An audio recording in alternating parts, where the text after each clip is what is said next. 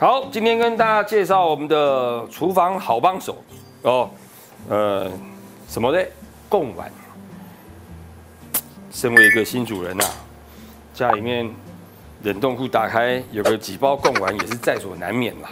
哦，但是也是因为这样子呢，丸子的文化在台湾来说是呃非常应该怎么讲，稀松平常啦。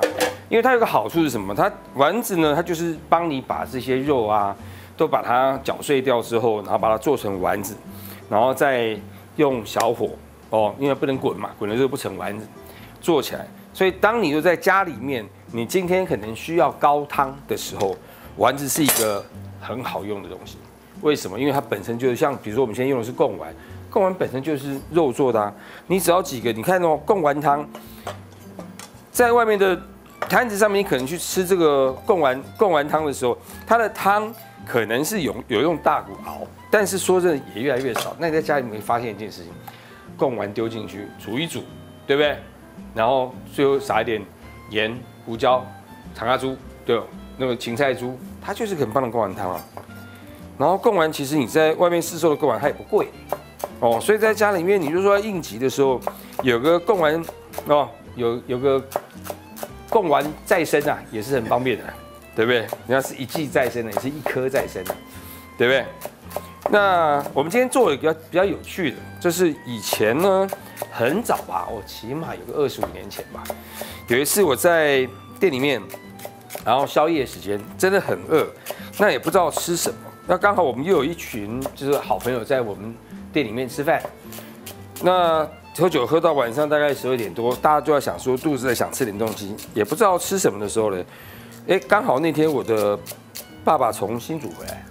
他就我们回去新竹都会带一点贡丸回来，他就把贡丸带回来，所以我就做了什么？我做一个滑蛋贡丸，很妙吧？但我跟你说很简单，很好吃哦。今天分享给大家，你把贡丸拿来，对不对？然后切成片状，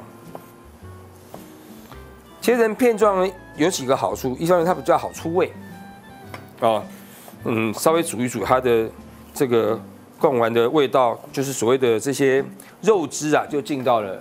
汤里面去了，然后另外就是看起来比较多哦，我这边放了几颗，六颗，但煮出来就一好像很多这样，然后卖相也好看。那当然不见得只有贡丸呐，你要用花枝丸，用鱼鱼丸不行啊，鱼丸里面有包肉不行。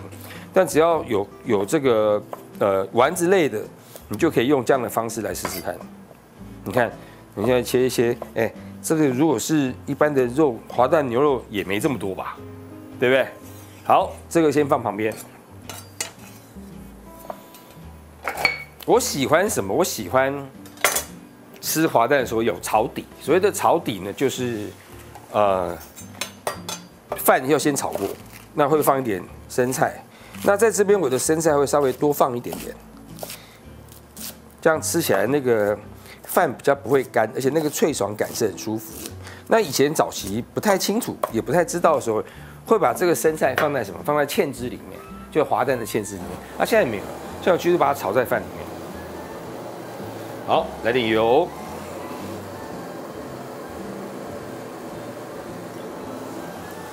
然后就可以把第一颗蛋打进来，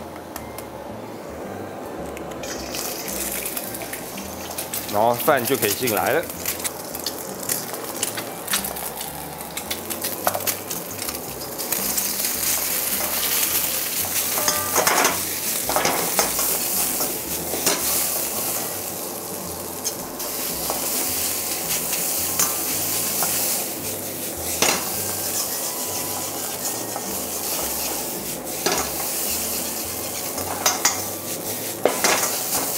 这个时候尽量把饭炒松，炒干都没关系，因为待会我们要做会制作滑蛋。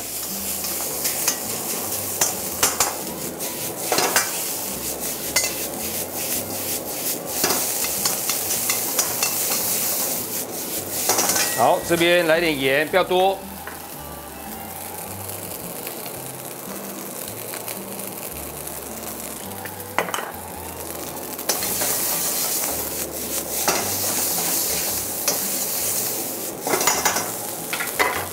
涂点油，有没有？现在饭粒一颗一颗都松了。那你可以在这边怎么样？放一点葱进来，让点葱香味，然后你就可以把生菜放进来了。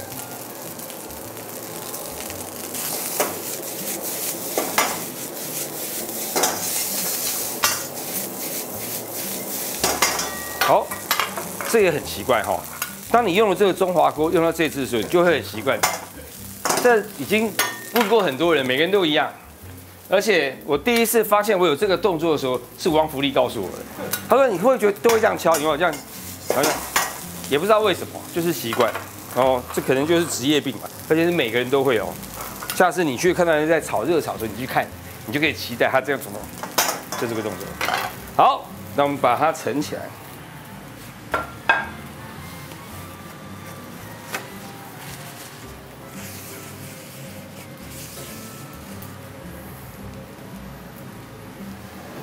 没有？然后像在炒的时候有没有？这样炒完，然后拿来你就会这样，有没有？有没有？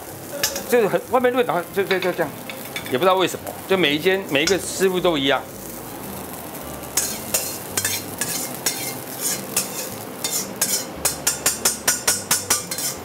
这种你知道，大火炒出来的炒饭，它就是香。好，那现在来，水煮起来之后呢，我们把贡丸放进来。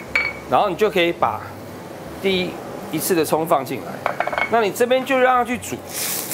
这边是其实严格说来，它就是在煮什么？贡丸汤了，对不对？然后这边要勾芡的准备好，然后蛋准备一下，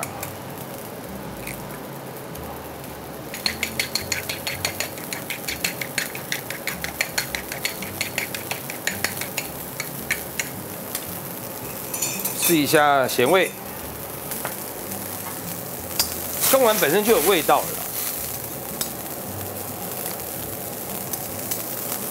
嗯，甜味有出来，盐巴，然后白胡椒，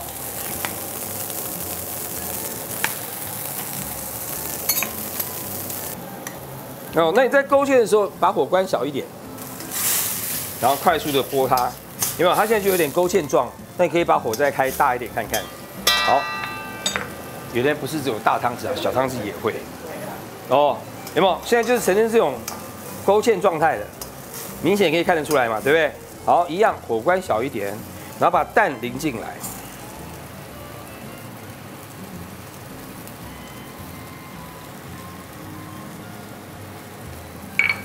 然后再推它，这个可以把火再开大一点点去推它。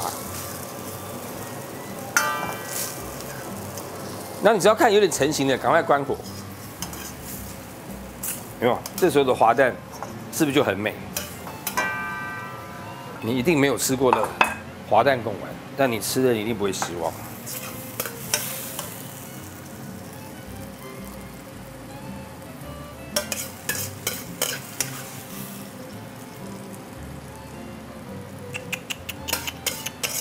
自己就觉得叹为观止。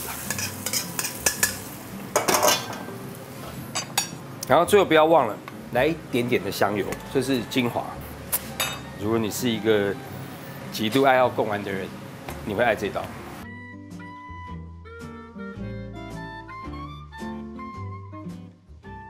不免俗的吃给大家看，好不好？这个葱呢，你到最后可以放进去也可以，你不放也行啦，因为我觉得差不多够了哦。一样，来一个贡丸，然后来一口饭。他们叫我现在马上试吃啊！就是要烫死我。